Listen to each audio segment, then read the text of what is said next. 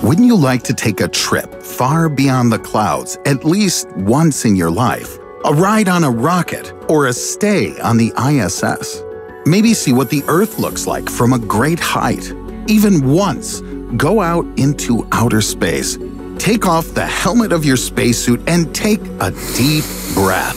Hold on, because in a space vacuum, it's impossible to breathe. Is the extreme vacation canceled? Unfortunately, yes, so far. But let's imagine that someday air will appear in space. Will it then be possible to travel there without a protective suit? Or, on the contrary, will a catastrophe occur? Let's start with the simplest and most necessary. To breathe in space without a spacesuit, you need to replace the vacuum of space with a mixture of gases called air. Just like in our atmosphere, it should contain 78% nitrogen and 21% oxygen. The remaining 1% consists of argon, neon, helium, methane, carbon dioxide, hydrogen, and a few other gases. And it's exactly such a mixture that should fill the expanse of space so that we can breathe freely, as in the Earth's atmosphere. And it should be in plentiful supply. It would seem that as soon as air appears in space, then what more could you want, right? You can relax and breathe as much as you like, while at the same time, perhaps also listen to an incredible concert. In outer space, there are constantly explosions of supernovae, collisions of gas and dust clouds, the solar wind, and the ionosphere of planets.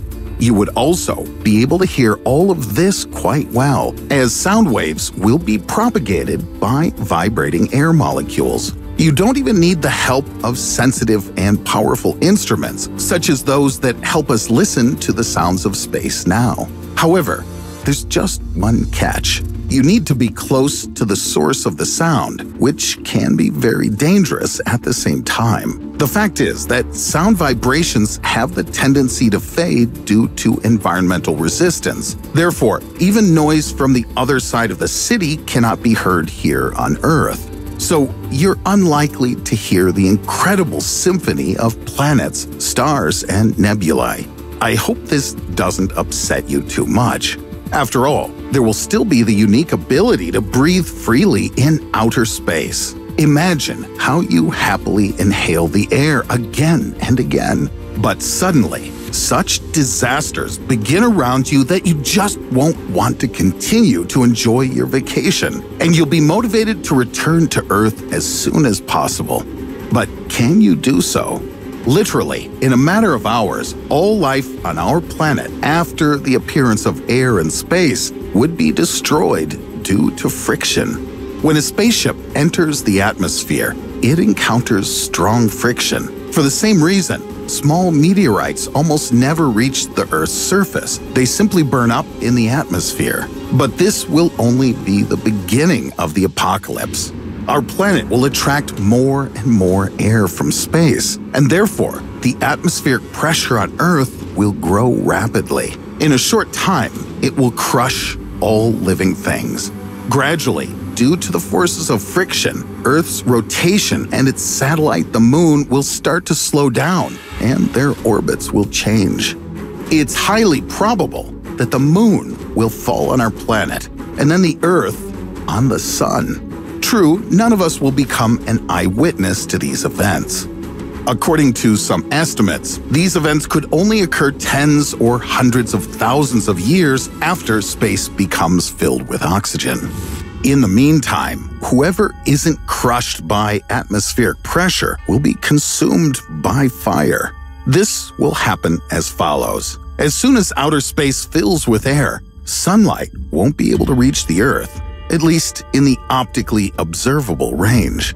Eternal night will come. However, people will not remain in pitch darkness for long. Soon, there will even be too much light because everything around us will sparkle with a bright flame. With increasing atmospheric pressure, the temperature will rise.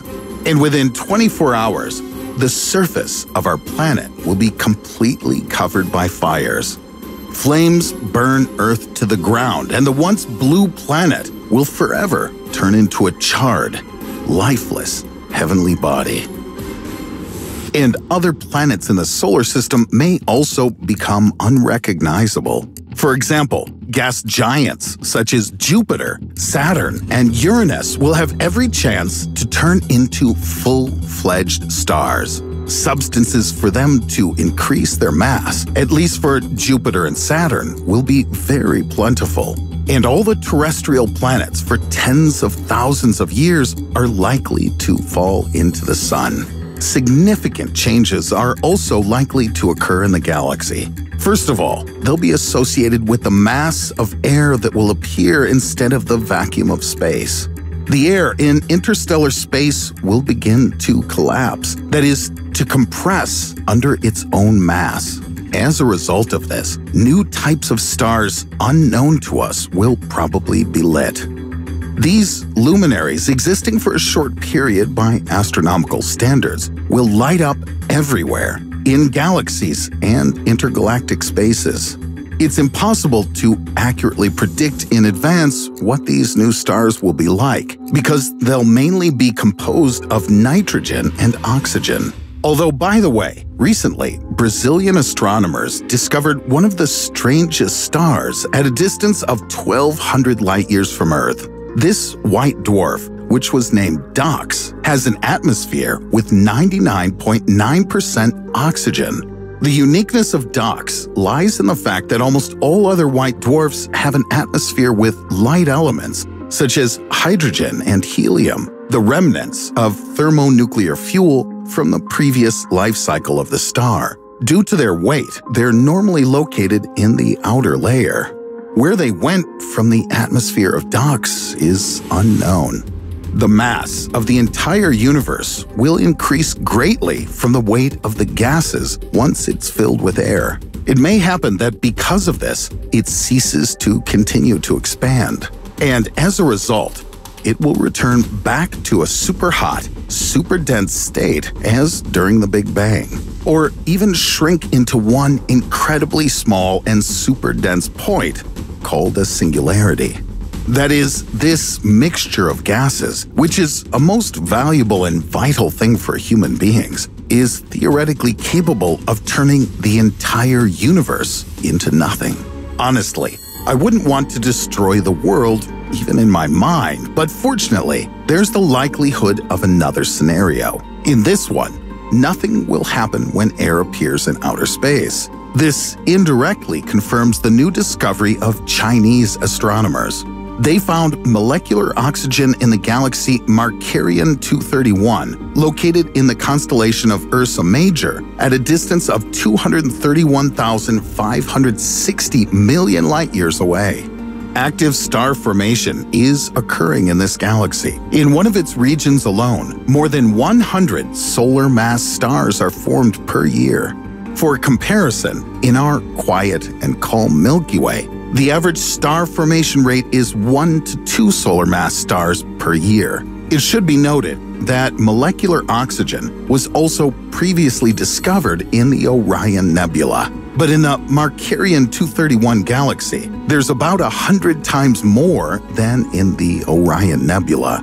However, there's nothing burning in Markarian 231. The gas is not forming a huge number of stars and black holes. True, breathing without a spacesuit in this part of the cosmos is unlikely to work. Indeed, it probably has less than 20% oxygen, and there's no nitrogen or other gases as in the Earth's atmosphere. But who knows? Maybe over time, astronomers will discover a galaxy with the ideal mixture of these gases, such that it allows you to breathe freely and at the same time doesn't destroy the usual order of space. Then, after hundreds of years, and maybe even earlier, our descendants will be able to travel freely in interstellar space without a spacesuit. Do you think it's possible? And what events, in your opinion, will cause the appearance of air in the universe? Write in the comments. If you like this video, give it a thumbs up and don't forget to subscribe to the channel. And click on the bell. All the most interesting travels through space and the Earth are yet to come. And yes, be sure to invite your friends to join us. Together, it will be more fun. Until next time.